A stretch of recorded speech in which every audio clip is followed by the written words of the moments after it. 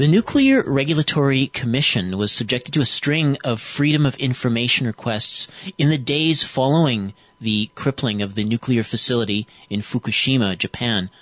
The documents released through these requests reveal that we've been deceived about the true nature of what happened at the complex and how dire the situation is there.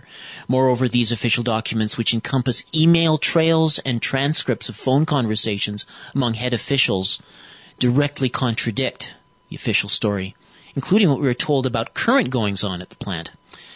Musician and citizen journalist Tony Muga, who goes by the pseudonym Hatrick Penry, is largely responsible for bringing this documentation to the attention of the wider public. He has a complete archive on his site, hatrickpenry.wordpress.com, and he joins us now from Gainesville, Florida. Thank you for joining us, uh, Tony. Thanks, Michael, and I appreciate the introduction there. You did a great job, and it's a pleasure and honor to be on your broadcast because, as we I talked to you before, I mentioned I've referred to global research numerous times in my investigations, and a number of articles there have uh, really been pieces of the puzzle for me to help me to put together a better picture. So I, I can thank you guys for that, if nothing else, right now. Well, appreciate it very much, uh, Tony, because it's certainly uh, this does seem to be a. Uh, what you've exposed seems to be uh, you know, quite a quite a shocker. um, so so it starts with these freedom of information requests. Could you uh, uh, who who exactly filed these freedom of information requests in the first place? Well, initially there were a couple of groups that I'm aware of that filed for the documents, and Friends of the Earth was one group. The other group was the Associated Press. Now there may have been other people in between but I'm not aware of, of any other specifics. But between those two, and especially the Associated Press, I'm told, is sent off for about 90% of the requests. So if you go to the NRC website and you log in and you look, the vast majority of those, according to what my research indicates, are being filed by someone at the Associated Press. I'm not familiar with who, but that would be kind of who some of these environmental groups initiated and filed in, initially right after the event happened, by late June, uh, early July, documents were beginning to collect into that online pool on the NRC database. Mm. Okay, so you, you can connect. Uh, I mean, is there a pattern to, like you mentioned, both the Associated Press and uh, environmental groups? Uh, is there any kind of a pattern in terms of who's re- requesting what, or is it all pretty much the same uh, territory? It just seems to me, Michael, that uh, at least with the Associated Press, because I think Friends of Earth just initially filed for a, a few documents here and there. AP's been consistently filing for them, and it just seems, if I were to make a guess, I think they're just making a wide sweeping grab and trying to acquire as much of a range of information as possible. I can't specifically look and say, oh, they're trying to get this kind of uh, telephone transcript or this specific date or so on and so forth. So I think it's just a wide range grab to get all the transcripts and telephone conversations, emails, all that kind of information and get it into a, a body on the NRC website where you or I or anyone can uh, go in there and research and get into it. Hmm. Now, um, you, uh, how did you come to uh, discover this information? Okay, initially there was a website online. I've been critical of some of these websites because they they didn't give that much information. They could have done so much more. But to their credit, uh, E Informable is a Lucas Hixson site, and Joy Thompson was, I don't know if she still writes with Enformable or not, but she had a really great article early on that called it a can of worms. It opened up a quote can of worms, and I thought to myself, yeah, this is worms, all right. So, but I will say this, Michael, on the whole, it's been very suppressed in studying controlled opposition since February of 2012 when I would send this information out, myself and uh, other researchers, and it was largely ignored. And we didn't cover everybody. Like I never contacted Michael Ruppert. I don't know why I never did. I never thought of it, but I sent to other uh, websites and alternative media outlets, and, and they basically ignored it. So I, I, I liken it to a, a fumble on the football field. And I'm looking around at all these better runners and better players, and they don't pick up the ball. And so I just grab it and run a few feet and set it down. Hmm. Well, yeah, I, it's Yeah, like how do you in- interpret that? I mean, you mentioned the term controlled demolition. Is there possibly a, a simpler uh, explanation? Uh, maybe just uh, what was that? I guess there's that saying: the bigger the lie, the the the, the, the harder it is to believe well, that. That's, that's true, and they're they're they have a very well put together false scenario and the false accountability of what the damage, what happened there. In this book I'm writing now, I'm going to explain and go into greater detail. Yes, there's a cover up to protect our nuclear industry. But if you want to look at that tsunami drill and go into the conspiracy theory area, I believe there's other reasons as well. I'm going to flesh that out in this book I'm working on now. So I'm mm-hmm. tend to right now just, you know, until I've done more research and, and done some more. So far, my hypothesis is held watertight, but until I'm really confident with it and I finish uh, this thing I'm writing right now, I just kind of want to hold off on that. So what we, like I say with Ruppert, I told him we can all agree that, that there was some damage there. We know it was pretty catastrophic.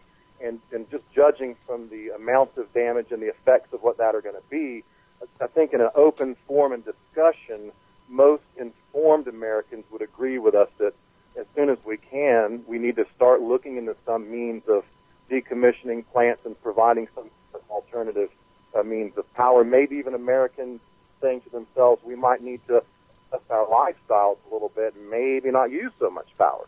Hmm. Yeah. Now the. Um, what with the the, documentation uh, that uh, was disclosed, uh, it includes uh, you know e- email trails, but also includes transcripts of phone conversations. Is this uh, uh, like among head officials? Um, the, these sorts of conversations uh, is, is, that essentially a requirement that uh, in all of these discussions that they're all recorded? That's that's my understanding, uh, Michael. That there's in a, an emergency like this. In fact, they, they actually do transcriptions from all their meetings around the country, public meetings. The NRC documents pretty much everything they do. And, and the, if there's an emergency or some kind of event, the recorders are on. They're keeping everything, but the thing is, my understanding is you won't ever even hear that unless someone files for uh, the transcripts and the phone conversations. Yes, they record it, but unless somebody out here on the outside world requests it, you know, they just hold on to it and, you know, might yeah. not get to see anything at all if they're not requesting it. So Freedom of Information Act, I tell you, it's one of the most beautiful things this country has going for it. Yeah, it's like certainly. I mean, even in dealing with uh, you know police officers, I mean they'll uh, they'll basically be able to get away with things by not.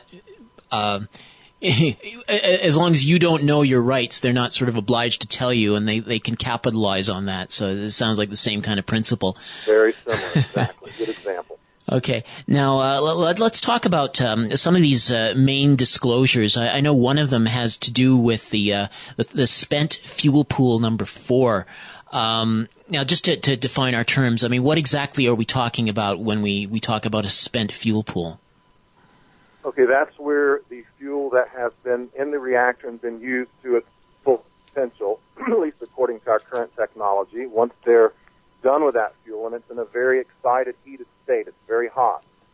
You have to put it into a, a temporary holding pool with a special coolant water that's circulating to keep it cool. And it has to stay there a number of years until the temperature comes down enough where they can offload it into what's called a dry cask and then store it, you know, for long-term storage somewhere else. So that spent fuel pool is a, it, it's many meters deep. I'm not exactly certain how many meters, but these control rods are many meters long. A person can't just lift one up yourself. They have that big machine, take them in and out, as many have seen in the TEPCO videos alleging to be Unit 4. So it's simply just a temporarily uh, place to hold these heated fuel rods until they cool enough to dry cast them for permanent storage. Okay. Now, uh, what we've been told in, in recent weeks, uh, starting on the 18th, that there is a major operation to remove fuel rods from the assemblies in these um, spent fuel pools. Uh, to, to do it safely. And there's been a lot of controversy of whether or not TEPCO, Tokyo uh, Electric Power Corporation, is competent enough to do all that. And, uh, you know, a lot of uh, associated commentary coming from experts like Arnie Gundersen. But what, what have you revealed about spent fuel pool number four that would seem to, um, I don't know, contradict a lot of the current news we're hearing? Okay, first, I quickly want to say that I'm not an absolute expert on nuclear power, and but there are other people who are, but they don't want to speak out about these documents. So to be clear, I'm kind of learning as I go along, and, and if I make a mistake, I'll go back and like today on your show, I kind of made a correction from uh, FOIA stuff on Ruppert's show. I, I misspoke about these documents are ongoing and so on and so forth. So I just want to be clear, I'm not uh, uh, expert. The ones who are, I would say, are kind of remaining quiet on these documents. Now, mm. that being said, with spent fuel pool number four, in these documents, there on number four, there's a mountain of evidence. I mean, it's huge. I could write another giant article again with all new stuff because it's consistent that four had some kind of a leak and loss of inventory. And when that happened, there's what they call a zirconium fire. The cladding on the spent fuel, it reaches a temperature where it bursts into flames. It's very difficult to extinguish. It's called a pyrophoric fire.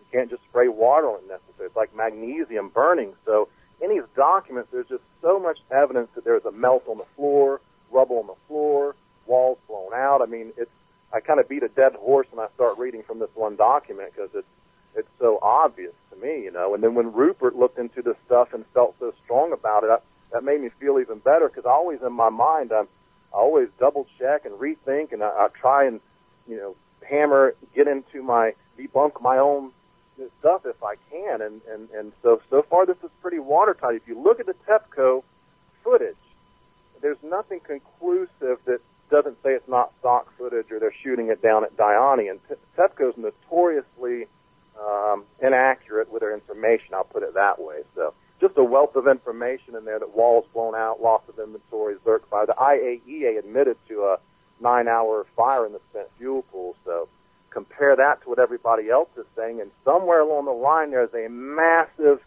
uh, schism between the on the one hand that the spent fuel pool is they're going to unload the fuel. On the other hand, there's probably not any fuel left. You know, one mm. of the hmm. two is wrong. yeah. So yeah, well, you're, you're talking about, uh, and I appreciate that that clarification.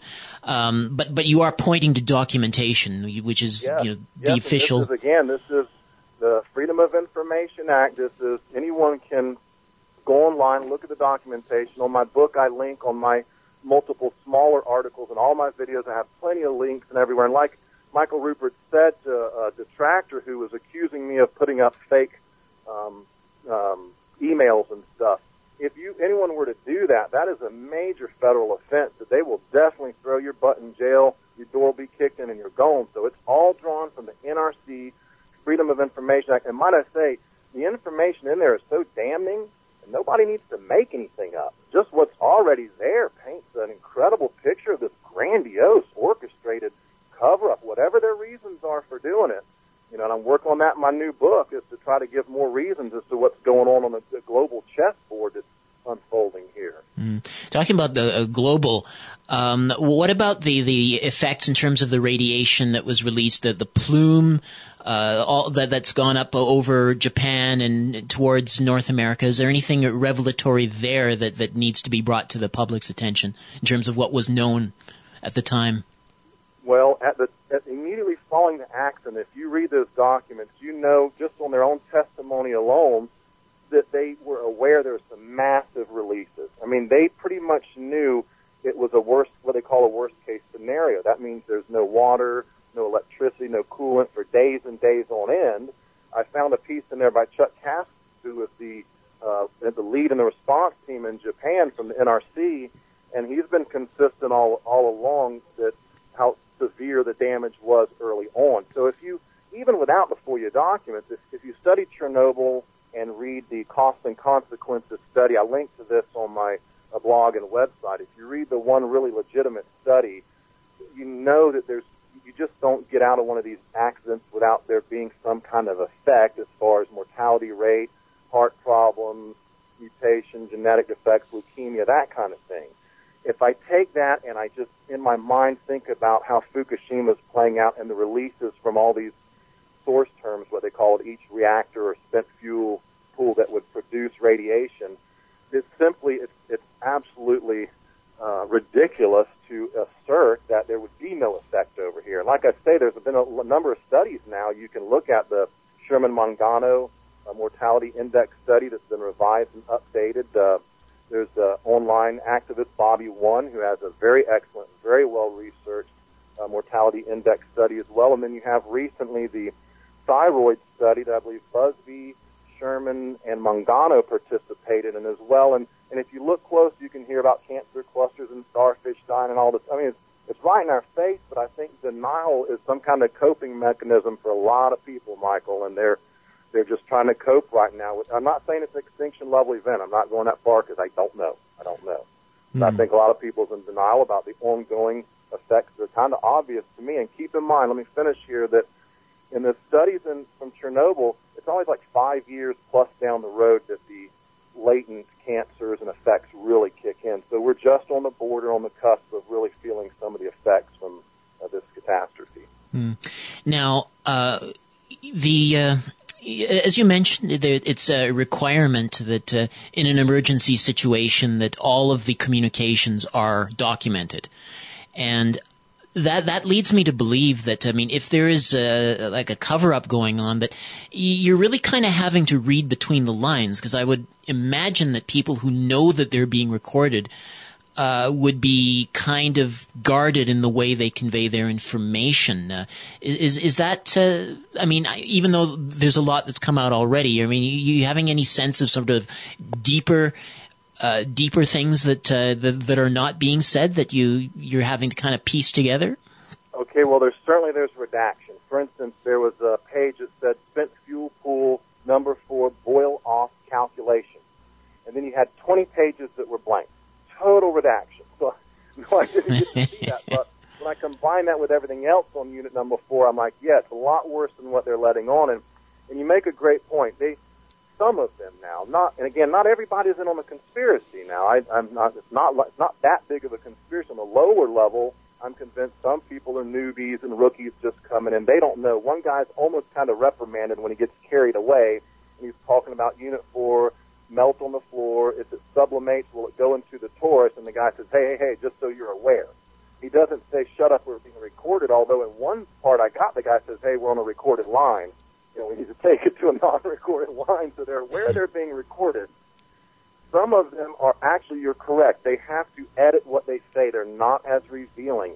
And I, I did a broadcast on Blog Talk Radio, my blog, blog Talk Radio show when I used to do it, where I talked about the NRC's response to a catastrophe is actually inhibited because there are some players, some players are aware they're being recorded and they're editing what they say, and so they're not forthright and forthcoming with information. So it, the communication is inhibited, and I, I liken it to firefighters showing up at, your house to put out a fire, and, and they can't say the word axe and they can't say the word hose. They'll still put the fire out, but it might not be in this short a time, if you understand. Hmm. I, I would be watchful of those things that uh, officials are saying among themselves, but they say something completely different uh, to the wider public. Uh, uh I mean, obviously, you you have that blatant example with the spent fuel pool four, but I mean, I think you also mentioned the, the whole issue of potassium iodide and uh, you know how they, they seem to stress it more when they speak among themselves than when they uh, speak to the wider public. Um, you, you, have you come across several other examples uh, like that, or? Well, that's very observant of you. Yes, what I found in, in the back of my book, "Something Wicked This Way Comes," I have a section on potassium iodine (Ki), and I've got a collection of screen captures from emails. Uh, for instance, I'm trying to think if it was Chuck Casto or who it was had forgotten their uh, stash of potassium iodine and someone was trying to ship some out and get it to them as soon as possible because throughout these documents, they make no bones about it. They don't leave here and go over there without their potassium iodine. Whilst on the public front, to my understanding, they're kind of, you know, indifferent about it and don't want the public to think they really need it. It only treats you for iodine and won't get you for other radioactive substances. Not that big a deal, but you know, if you're in a pit full of snakes and there's six different snakes and someone gives you the antidote to one snake, well, that's only five left, and I'd rather only have five snakes after me than six. So. Hmm. Well, I, I, guess that gets us to the uh, the question of motive. Um, just, just to try to clarify what, in terms of what your uh, you know the the, the exhaustive uh, thousands of hours of research you've done into this do, do you have any have you come to any conclusions about who is benefiting from from covering up this information? Uh, is it uh, is it about basically straight you know protecting people's asses? Are they concerned that there could be a national panic and everybody's going to want to move from the west coast of North America? Is there you know profits at, at stake? What what's what's the, the ultimate motive here to this whole scheme? Well, first of all, to be uh, realistic, well, first let me say yes, they're protecting the nuclear industry, obviously, but that's the obvious uh, um, indication there. But they're also uh, you can't be completely honest considering. Let me let me phrase considering our position around the world with all these nuclear plants, and considering their vulnerability in relation to large population centers. This is what I want to say. You cannot be forthright and completely honest. You simply can't on the not to, not to uh, make excuses for our government, but if they came out and said, yes, we got to evacuate, you got to get out of Tokyo, or Indian Point's melted down, you got to get out of New York, it's not logistically, it's not feasibly possible to evacuate those people. You just cannot do it. And so in their defense, I understand that. But my point in that is that just strikes to the fact we have to, we need an alternative source of power and we need to dry cast this stuff and shut these things down as soon as possible. So the cover up is twofold protect the nuclear industry in the short term, but I mean, I think in the long term, we have to look at, we're going to have to shut this stuff down regardless. There's no other way around it. And, and I think they probably know that in the higher levels of government now. Hmm. Um, yeah, I, I want to go back to what, what you we were discussing right at the outset. Uh, that the Associated Press being uh, responsible for, for filing so many of these uh, freedom of information requests in the first place, and you know, having gone to all that trouble, and it doesn't seem like they're doing anything with it. I mean, Associated Press that's that's mainstream, right? That's the uh, the, the biggest news wire in the world, I believe, and that's correct, but but when I, I'm told, I don't know who it is, I'm told there's one person down there that continues to file and put this evidence on the NRC database. So while on the one hand it's true, Associated Press is not pulling from, you know, what I'm looking at, the worst of the worst in these documents, if anything at all, someone down there is doing something and stockpiling for those who are willing to look into it. So it seems to me like somebody's trying to do something while overall, yes, mainstream totally silent across the board, and alternative media until recently has been very much silent across the board. Oh, okay. So what, what, what just occurs to me as you're saying that is that they're they're they're looking to this information. They they want the information, but not with the intention of disseminating it to the wider public. Correct, because you have to understand that in those higher level positions or any position in the mainstream media, AP, ABC News, Reuters, whatever have you, have to answer to their boss. And, and I've looked into this extensively. There's repercussions if you do try to. Okay, let me say this. In these documents, Michael, you can see where the NRC, and they spend millions to search press, uh, could be mainstream, could be alternative. They want to know who's writing about them, who's talking about them. Throughout these documents, you see reports coming in on who's writing about Fukushima, who's writing about the NRC. It's mainstream too. I've seen a couple articles come out in mainstream that weren't that shabby, but they get reported on. NRC knows about it, and they say in one of these emails after Fukushima that they watch social media. They got a feel for what's going on. They send their bloggers out to help set the record straight. I'm kind of paraphrasing, but that's generally what they do. They watch, it's reported to them, and they countermeasure and come out and, you know, they, I just read an article where Entergy spends millions to hire online PR people to convince us to relicense Indian Point, which is kind of like our Fukushima waiting to happen next to New York City, if you think about it. Hmm. Well, it looks like our tr- truth tellers have uh, our work cut out for us, given that, that, that kind of, um, I guess, counter. Uh, those sorts of counterattacks that may be on on the horizon. Um, yeah. So so what about uh, briefly? I mean, you, have already made some forays into to getting this. You've been at it for for for months. And uh, you, you you have the internet as the ally. You, you talk as an ally. You talk to, to Mike Ruppert and, and Blog Talk Radio. Uh, what, what are some of the uh, your experiences in terms of getting this to the wider public? Uh, you they they hits the misses. Um, you know the some of the things you might caution against. Well, my experience getting out to the public has been kind of frustrating because for the longest time I would send the information out and post on YouTube channels and try. I would do videos that were remixable. All you had to do was put a punch a few buttons and copy my video, and I found just an incredible resistance to this information going out.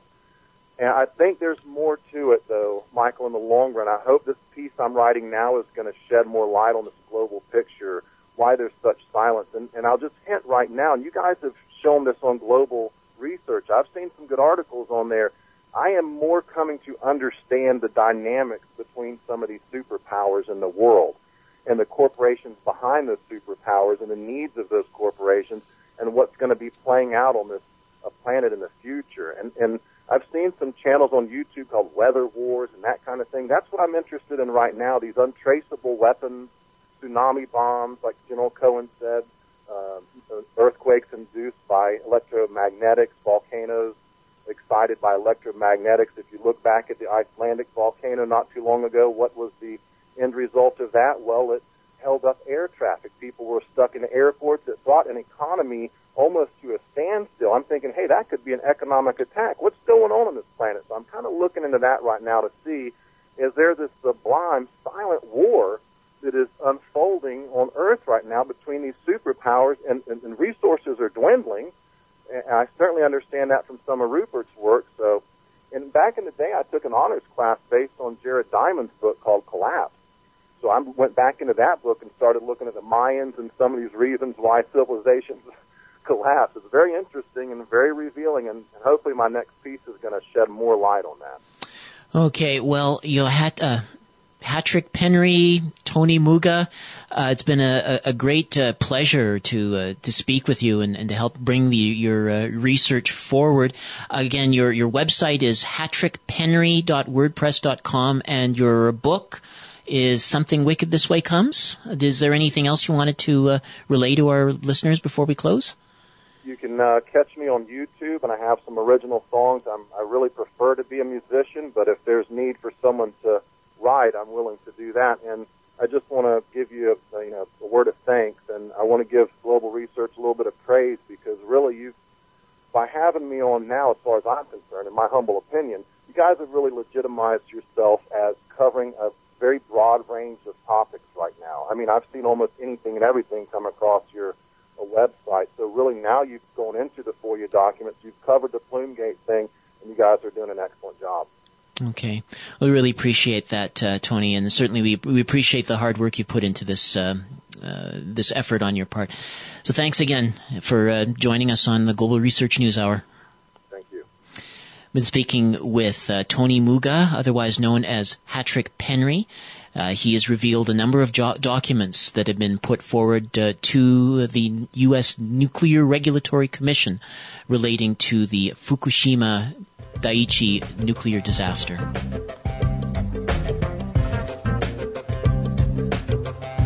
And that marks the end of our show for this week.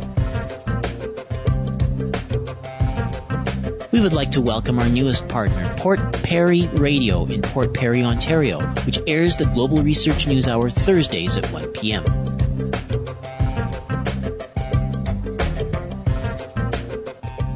You've been listening to the Global Research News Hour.